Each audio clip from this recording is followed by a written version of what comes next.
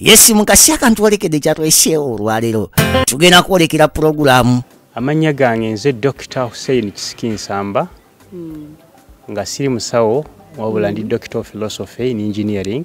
Mu kitongole kyaffe kino ekya invasion plus group we tuli olwaleero metal fabrication twamukugukamu nnyo ekitenkanika era guno omwaka gwa kkumi nga tuli wano mu kitongole kino kyolaba. Ekitudde wano ku mutala nsangi manja wetusinziira ne tukolera abantu abali mu uganda nebweru wa uganda. Ne tubatuusaako services nga tebavudde mu offices zaabwe. Basinziira mu australia basinziira mu norway basinziira belgium mu canada.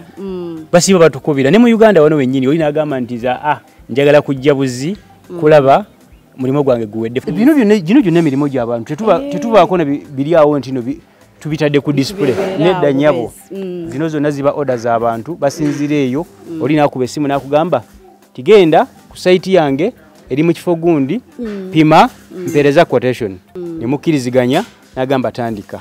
Okay. tukola n'entebe mwana wattu. Funa bufunyi butto We- n'ateeka ku- bu cushions na- n'ateekawo. Tulina ne zino ezewuj- e- e- e- entebe ng'esobola okubeera nti nga ntebe ate nga mmeeza.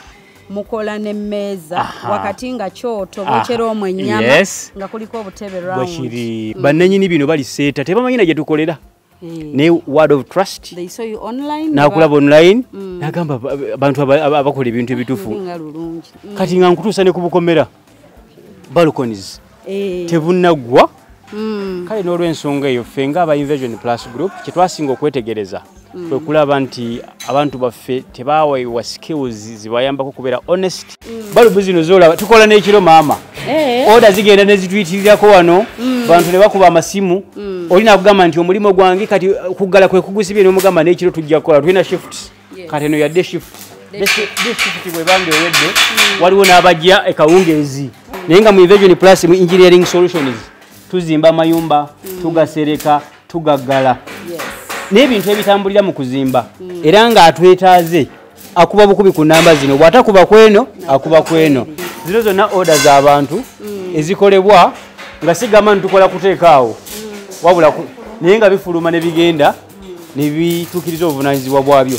Tulina ne branches endala tulina branches e masaka tulina branches e palisa tulina branches e soroti tulina era to- oli tabeera na order Eh. Nti ate bannange aba invasion plus ate mwe muli nsanja ate enyumba yange eri kabera maido Eh. omugamba mama Banyumba- nyumba yaffe ey'omukyalo. webale nnyo.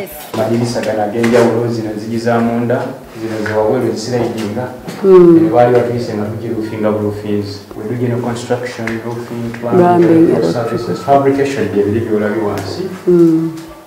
Steel and aluminium products. Kati kyendabye wano egundi ekyajinga. Akyajinga essimu Kati- amasanyalaze gava kusigiri tugenda kwolekera pulogulaamu. Weewunyisa omwagalwawo oba surprise your loved one ng'ekutuusibwako n'abagereka w'omukwano opushifa nakawombe. Njagala weekanya